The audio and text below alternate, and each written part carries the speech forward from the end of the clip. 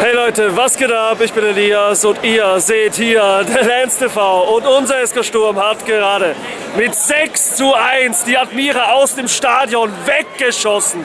Ein Schützenfest sondergleichen. Also äh, ich kann mich wirklich nur mehr ganz grau erinnern, dass wir das letzte Mal sechs Tore geschossen haben. Ich glaube, das war vor einigen Jahren schon gegen Alltag damals zu Hause. Auf jeden Fall äh, wirklich fast von Anfang bis Ende eine sehr, sehr starke Leistung unserer Blackies. Und äh, obwohl das Ganze wirklich äh, schlechter gar nicht hätte losgehen können, denn bereits nach zehn Minuten äh, schon elf Meter gegen unsere Grazer. Also so langsam wird das Ganze zur Gewohnheit. Gegen den Lars gab es schon einen Elfer gegen uns, jetzt schon wieder. Ähm, was war passiert? Scheusengeier im Laufduell mit Stakel. Scheusengeier fliegt eigentlich eher über Stakel drüber, als dass er ihn fault. Und äh, der Schiri pfeift den verdammten Elfer. Dieses Mal hat Siebenhandel leider nicht so ein Näschen für den Elfer wie beim letzten Mal. Knasmüllner äh, trifft in die Ecke, also trifft eigentlich flach in die Mitte. Was rede ich da? Zum frühen 1 0 für die Admira. Man hat sich natürlich schon gedacht, ach du Scheiße, das geht ja nicht so super los, aber unsere Black ist sofort die Antwort geliefert. Wenige Minuten später Eckball für Sturm.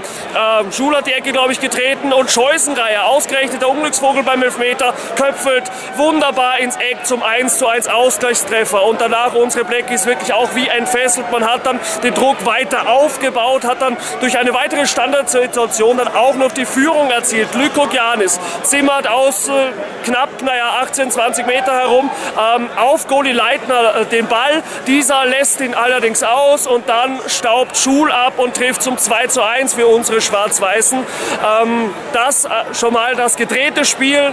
Man hat sich gedacht, also ich für meinen Teil, okay, gut, ein bisschen beruhigter, aber unsere Blackies haben auch nicht aufgehört. Danach wurde der Druck auch immer stärker und unsere Blackies dann auch noch mit dem dritten Treffer. Der Torschütze Philipp Zulechner, etwas überraschend für manch einen in der Startelf, mit einem Wahnsinnstor. Aus, äh, von ihm aus gesehen, halblinker Position. Der zieht da einfach mal ab, das wird auch gut. 20, 25 Meter locker gewesen sein. Und der senkt sich herrlich in den Winkel. Und ja, das ist eben das 3 zu 1 für die Schwarz-Weißen. Und dann auch noch knapp vor der Pause der vierte Treffer. Das Zuspiel, ich glaube, von Hirländer. Wunderbar auf Danny Allah, der läuft alleine auf Leitner zu und lässt ihn dann auch keine Chance mehr. Also 4 zu 1, der Pausenstand, ein Wahnsinn keine Ahnung, wann man das das letzte Mal gesehen hat. Also vier Tore erste Halbzeit, in der zweiten das Ganze eigentlich auch nicht so viel gemächlicher. Unsere Black ist weiterhin klar überlegen, ohne jetzt äh, lange Zeit die richtig großen Chancen zu haben, äh, bis auf Zulechner gleich zu Beginn der zweiten Hälfte, der nachdem er schön den Ball sich erobert, alleine auf den Keeper loszieht und ihn leider dann anschießt und ähm, ja, die Chance aus 5 zu 1 auslässt. Sturm eben aber dann weiterhin am Drücker. Da gab es wirklich dann äh, die ein oder andere Möglichkeit. Lykopian ist mit einem gefährlichen Freistoß, fällt mir da ein. Der eingewechselte Philipp, der knapp einen Ball dann auch noch drüber schießt. Und ähm, dann ist es eben auch Philipp, der am 5 zu 1 beteiligt ist. Philipp, ähm, der mit ein bisschen Ballglück agiert, den Ball dann äh, auf Koch weiterbringt und Koch zimmert das Ding richtig schön ins Kreuzeck zum fünften Treffer. Das so passiert in Minute 77. Sturm auch immer weiter, immer weiter. Essay, der auch noch eingewechselt wurde, der wirklich Pech gehabt hat, scheitert erst noch Spitzenwinkel an Leitner, trifft dann auch ein zweites Mal die Stange und Sturm, wie gesagt, wie entfesselt, auch in der Schlussphase. Man hat immer weiter versucht, eben zu drücken, das nächste Tor zu erzielen und man hat es tatsächlich auch noch geschafft, den sechsten Treffer draufzulegen. Der Torschütze ebenfalls eingewechselt, Oliver Philipp. Ein wunderbares Zuspiel von, ich glaube, dem ebenfalls eingewechselten Lovric. Perfekt in den Lauf von Philipp, der verstolpert zunächst ein bisschen, kann die Kugel doch kontrollieren und dann haut auch er den Ball aus spitzer Position in den Winkel. Leitner, der kann einem schon fast leid an diesem Tag, aber nur fast.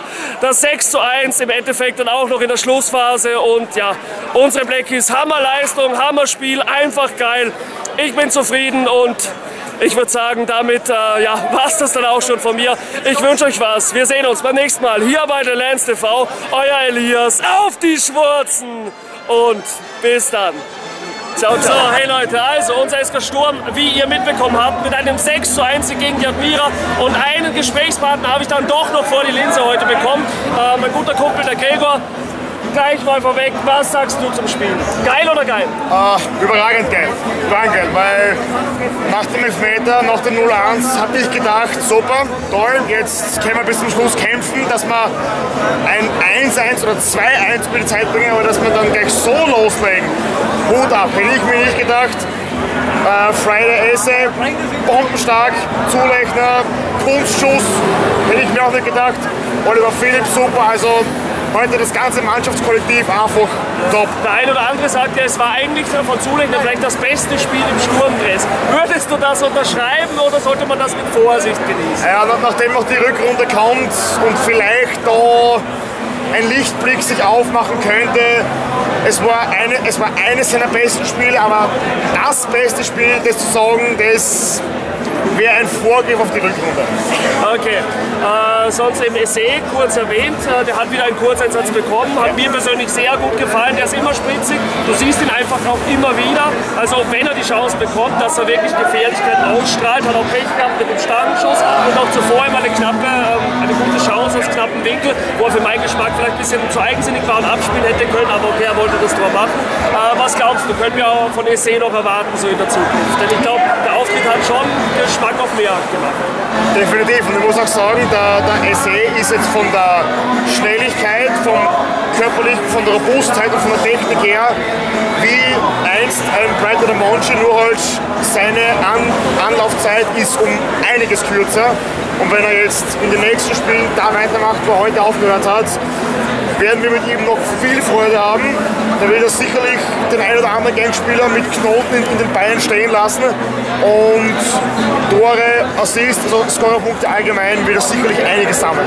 Wenn nicht in der Rückrunde, sonst schon spätestens im nächsten Jahr. Da wird er dann einsteigen.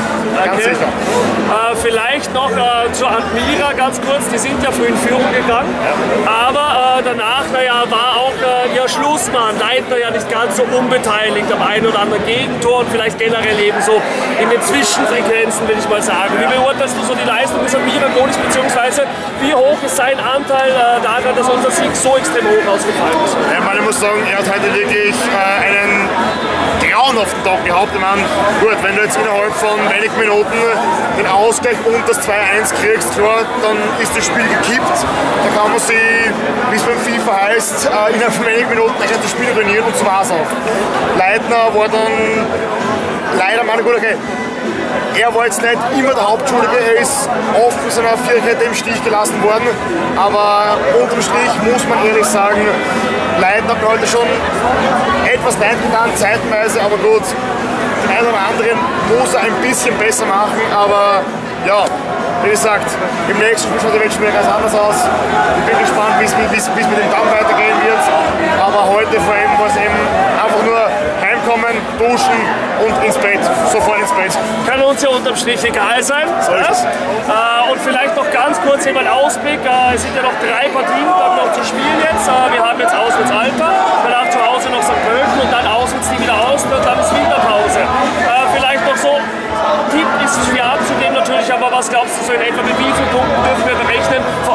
Hinsicht darauf, wie unsere Beckys heute wirklich aufgetreten sind.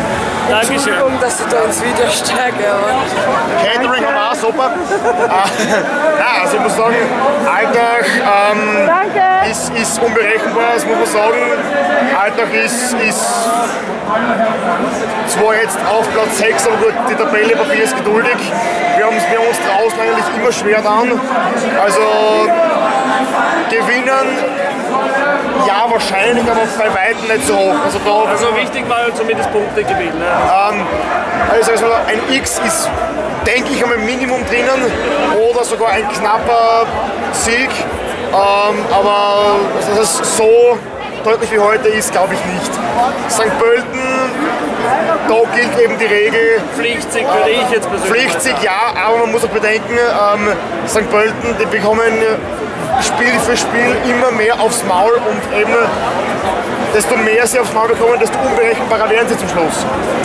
Normalerweise, wenn nichts schief geht, ist es ein Pflichtsieg, aber Klar, wo du irgendwann auch in die Phase kommst, wo Ja. du nichts mehr zu verlieren hast. Und da sind sie eigentlich und da, jetzt kann, und, und da kannst du eigentlich, weil es egal ist, befreit aufsprühen. Und wir waren eigentlich in der Vergangenheit für solche Vereine gerne der Notarzt.